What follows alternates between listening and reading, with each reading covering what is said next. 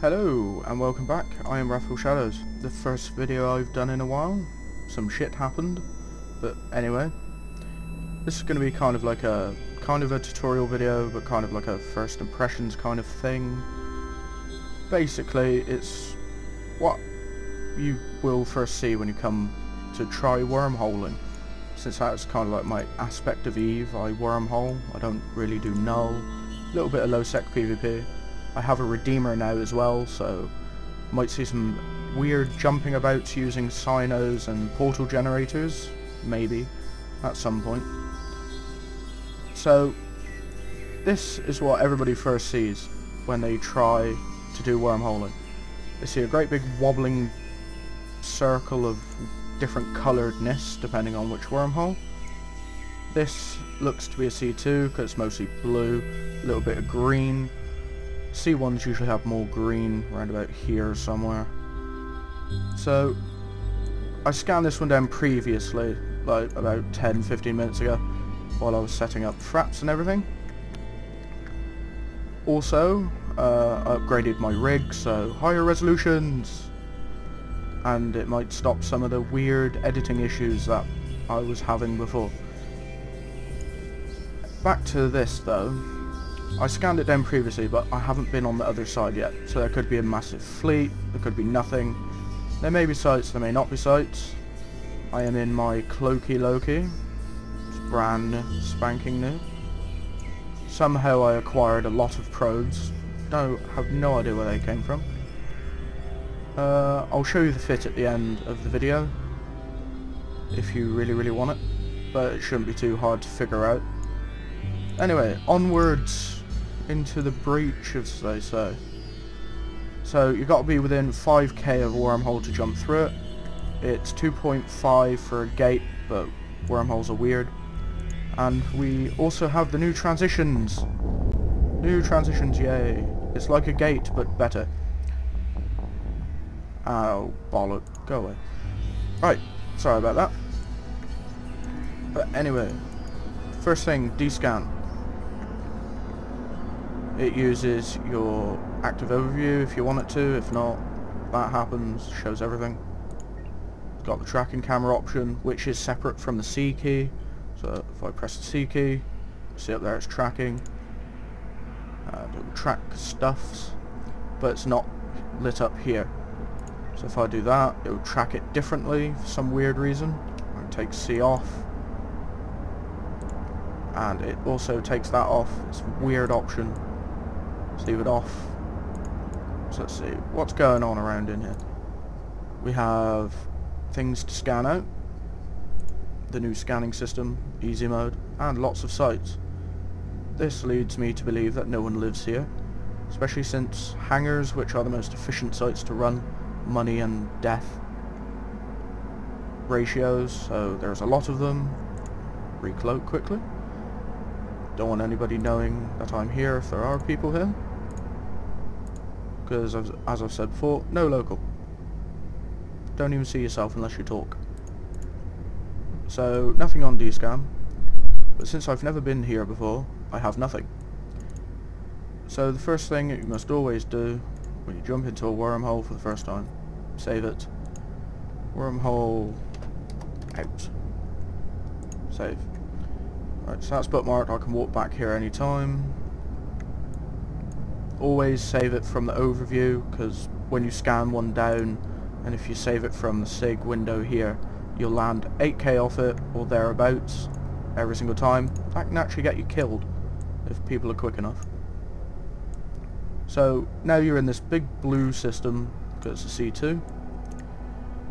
Oh, you can confirm what it is by going to wormholes.es or wormhole.es clicking the refresh button after you've trusted the site and it will tell you all you need to know. Wormhole class 2, low sec and another C2 static so we could probably get a nice chain out of this.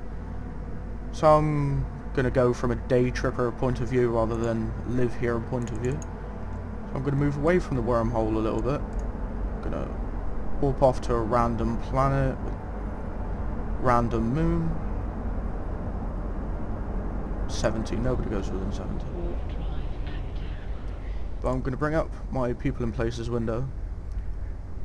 Don't click it yet. Don't click add location yet. You'll find out what I'm doing shortly if you don't already know. So now that I've warped off, I'm going to wait a minute.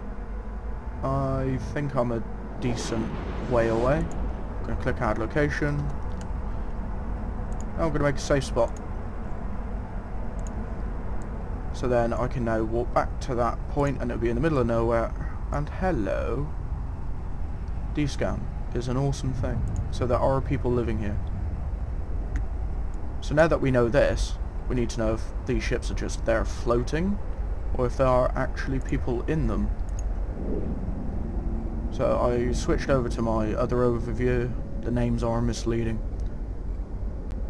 Uh, this one shows control towers and cans and stuff because sometimes people like to anchor cans around the outside of these bubbles so that when I land on it it will decloak me, the tower will see me and horribly murder me.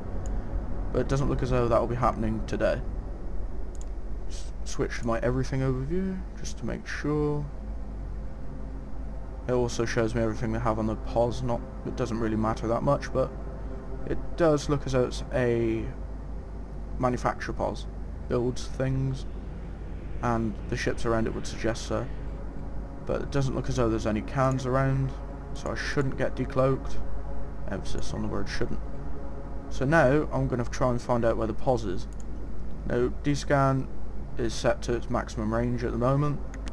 If you type in a load of nines it will default to that. And then you've got the angle around your ship. The point of view is corresponds to this. So if I go to 180, it shows me from left to right, 180 degrees in front of my camera. And then go down the varying increments. So I'm going to try and slowly find where this pos is. So now I know that it's somewhere. This used to tell you what angle it was at. It doesn't seem to want to do that anymore. Hmm, never mind. So I know it's somewhere around here. So that could be that planet or that one. Maybe that one over there. Dial it down again. It's definitely now one of those two. And again, I get nothing.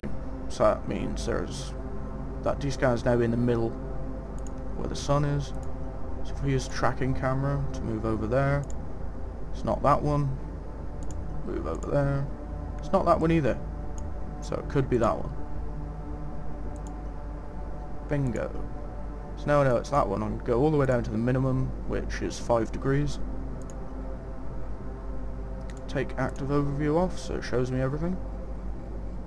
And of course, because this one wants to be a bit of an arse, there are lots of moons. Poses can only be anchored around moons, so one of these. Let's go to moon 1, see if they've been boring and not so paranoid as you should be. Now I bookmarked safe on the way in so I can walk back to that something horrible happens. I don't think they know I'm in the system because they shouldn't have been on D-scan from where I were, was rather. So keep D-scan at 5 degrees for the moment. Don't think it's at Planet 1, so they've been slightly inventive.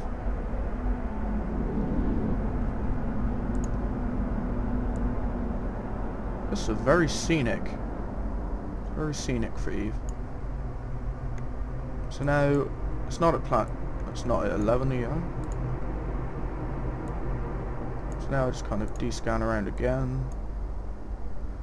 That's useful, now I know that the warp disrupting bubble is not around the pos. Just go around until I find the pos. Keep going around.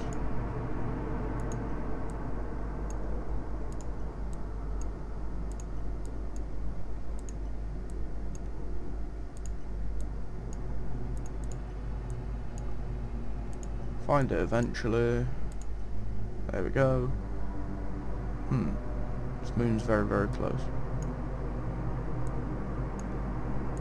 But it's not that one. I went straight down to 5 degree, which is kind of silly.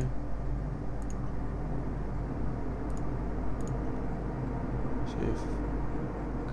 Right, so it's 13, 14, 6 or 9. It's not 6 or 9,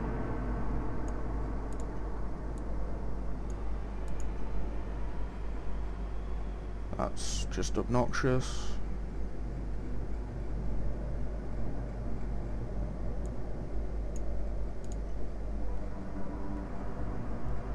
And because my memory is absolutely crap, I can't remember what we it down to a minute ago. Moons. I thought we decided it wasn't 6 or 9, but apparently I was wrong. 6 or 9. Let's go for 6. Always go to within 100 if you don't want to land directly on a pos or a structure. Sometimes you still do. But as everything in Eve, as soon as you bought it, it's dead anyway.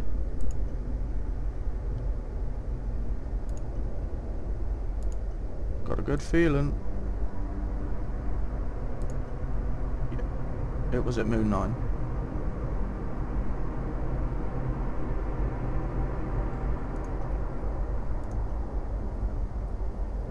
Since I'm warping from around moons, I shouldn't land on top of it.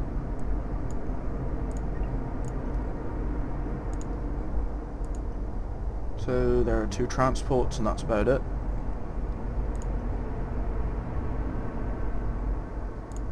The music has got really creepy in wormholes. Usually I play with Eve with the sound off. Holy mother of God. Well that's definitely a leave us alone pos. Wow. I've never seen so much junk around a pos before. Anyway, the Crane and the Viator are unmanned because the names are Crane and Viator instead of a pilot name. But we can do that, see who's last in it. Intel is king. It's an eight member corp, nothing to be worried about. Research subsidiary, eh? No alliance. Tantalus Industries. I'm not too worried. So now we know that there is nobody in here but us. Well, that we can see. So now we would be free to show the anomalies, run all of these really, really tasty looking sites. My Loki can't do it because simply just scouting and light killing of things. But now you could go back to wherever you were, or if you have a ship that's capable of scanning plus running sites, you can do that. This video's been going on for a while, so I'll probably end it here. But there will be more coming, if I don't, you know, disappear off the face of the YouTube again. Of the YouTube. Yeah, that makes slight sense. Right, so I'm Wrathful Shadows. This has been what you will first see when you hit a wormhole. Have fun.